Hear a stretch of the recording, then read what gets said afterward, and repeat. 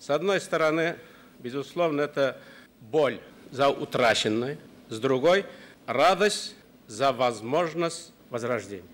Это было 9 лет назад, когда Ментимир Шамиев заявил не только о своем новом витке деятельности, но и программе, способной сохранить исторический потенциал республики и ее привлекательность для будущего поколения, укрепление степени узнаваемости Татарстана и привлечение туристических потоков. За годы активной работы создано немало. Усиление музейного пространства, восстановление памятников и создание новой инфраструктуры для жителей. Все когда-то начиналось здесь.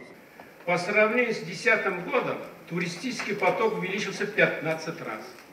Кто же мог из нас представить, что через несколько лет произойдет такое? Сейчас эти достопримечательные места ежегодно посещают более 1 миллиона туристов и гостей республики.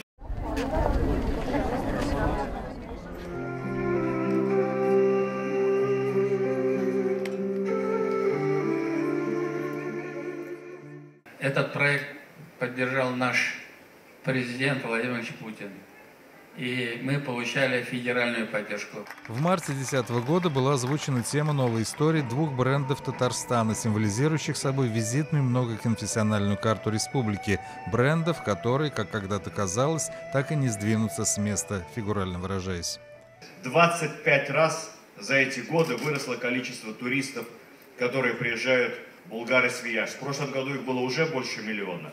Я уверен, что это цифры стартовые, потому что многие мои знакомые, которых я спрашиваю в Москве, куда, куда бы вы хотели съездить на праздники, в отпуск, на Новый год, они говорят, мы хотим не просто поехать в Казань, мы хотим поехать в Казань, посмотреть Свияжск. Если летом мы хотим обязательно поехать на Волгу и посмотреть Булгар.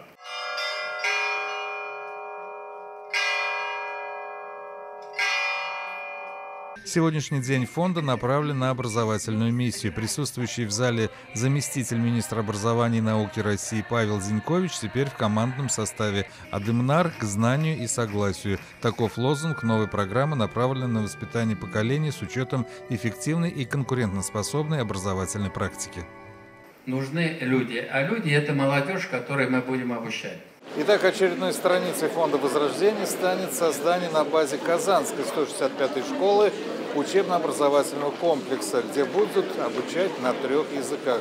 И это, пожалуй, только начало. Дмитрий Пиаваров, Дмитрий Реженко, телеканал «Эфир».